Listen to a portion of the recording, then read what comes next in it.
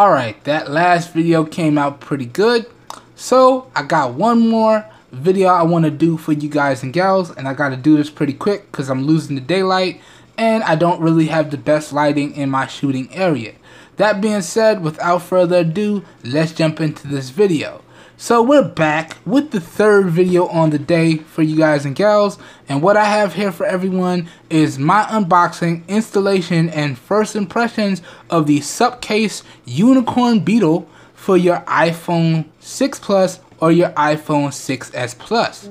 Alright, so without further ado, let's get into this video, this unboxing. Alright, starting off, let's talk about the packaging. Now, y'all already know. I'm sure everybody's heard of Supcase and the Unicorn Beetle series. This is actually one of my favorite lineups of cases. I've pretty much covered this case on almost all of the devices that I've reviewed, give or take about one or two. But let's do this anyway. So talking about the overall packaging, I really like the overall presentation. You got some company branding up here. You got the uh, the series logo right here. So this is from Supcases and this is the Unicorn Beetle Pro Series. And right there you can see this is mil spec standard for drop protection. So 810G drop protection compliant. And if we flip it over to the back here, you can see what all it provides. So it has perfect gripping with the textures used in materials. It has 360 degree rotation, so I do believe it comes with a belt clip. Now it has multi-layer support for shock resistance. Alright, now I have already unboxed this, got rid of all the tapes and plastics, and I boxed it back up just so you guys and gals could see the unboxing experience. So that pretty much does it for the packaging. Nothing else on the packaging but some barcode information. So that being said, let's dive into this box. Alright. Now, inside the box, this is what we get. Get this nice little pouch with the little barcode on it. Now, if you scan this barcode, this will take you to an instructional installation video on YouTube. And, and if it's your first time getting this style of case, I do recommend that you watch that video or you watch this one because I'm going to walk you through how to install this on your device. Alright. Then, aside from that, we do have our instruction booklet here. So once again, just letting you know how to separate the case. Pan this through the video so y'all can see. Feel free to pause and read this. Alright, put that down. Then here we have the case itself. And another set of instructions. So let me show y'all that real quick. So, two sets of instructions here. You know, Supcase was not playing. They want to make sure you know exactly what you're doing because they don't want you to damage your device or damage the case. Alright, so again, feel free to pause and read. Alright. Throw that off to the side. Get this bad boy out of here. Get these out of here. Don't need this anymore. Throw that off to the side. Alright, so let's get into this. Little styrofoam protector for the case. Throw that out of here. And here is the case inside of its belt clip. And now this belt clip can be used as a stand with your phone inside of the case. I'm not really a big fan of belt clips, so I pretty much just toss these. So I'm just going to toss that. Now, when you first get this, it will have some protective plastic on the front here, as well as having some protective plastic on the inside, but I've already removed all that. Okay? Now, let's get into the installation process for your device. Now, the first thing I would recommend is that you give your device a full wipe down, front and back, because similar to the other case that I unboxed, once you put this bad boy on, it's going to be a little bit difficult to get it off. So this bad this case is made to go on and stay on for pretty much an indefinite amount of time. Okay? So you definitely want to wipe down your device thoroughly before attempting this installation. Once you did that, put your device off to the side here And then you just want to dig a fingernail in, get a nice groove, right? And be careful because you don't want to damage the hard plastic. Then you want to just work your way around, being sure to pop out all the corners. Okay, just like so. Working your way around. Be careful not to break the hard plastics. Keep going till it pops off. Just like so. And we in there. Then what you want to do is remove the protective foam. And at this point you would take off the protective plastic right here. Throw this off to the side. Don't need that. Now, with your device fully wiped down, what you want to do is just line it up and drop it in. I got a piece of hair right there. We don't want that in there. Up. Bam. So line up your device and drop it in. It should click into place. Like so. Alright. Then what you want to do is take the back shell and line it up and drop it on. Alright. Now me myself, I like to start from the sides or the bottom.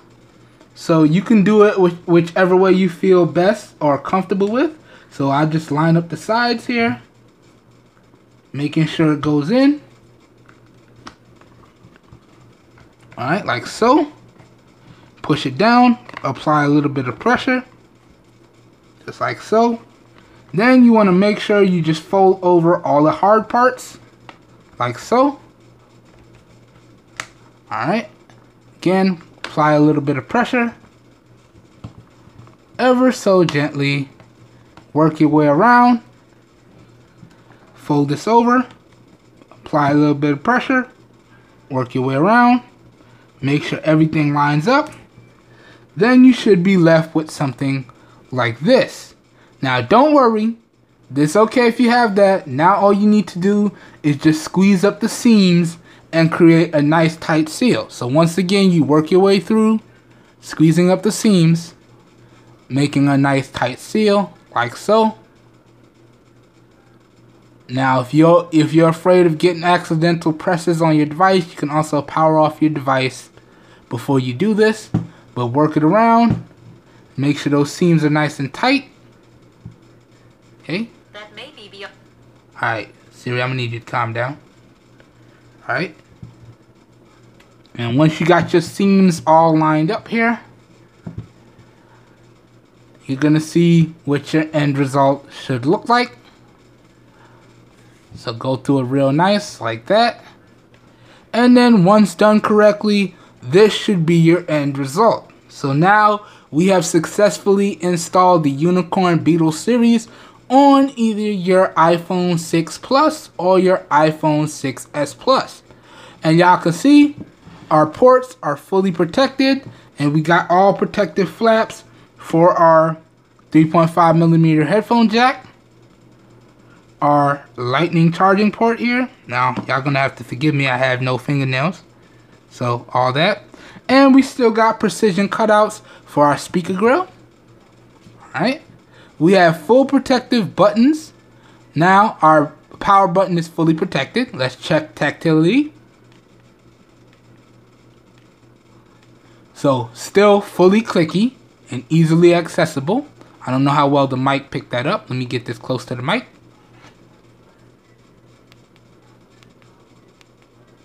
Okay. Good stuff. Same thing for the volume rockers. So fully protected. Still fully clicky. Now, our mute slash alert slider is underneath this flap. So it's fully protected. Now that is the one downside that I could see. When you want to use that, you're going to have to fold this flap back and use that. So that's one thing you're going to have to be mindful of. Alright. But that's pretty much it. We got nice raised lips for our camera and our LED flash. So no need to worry if you drop your device face down. And we have a nice protective screen protector. So no need to worry if you drop your device on the display. It should be okay. And we have a nice divot for our front facing camera and our receiver and front facing sensors. So no need to worry about getting those scratched or getting those damaged. And we still have a nice neat cutout for our fingerprint sensor. So good stuff. Let's check and see if it works okay. So, yep, everything works exactly like how it's supposed to. Now let's check touch sensitivity. Yep, super smooth. No problem working in here. Good stuff.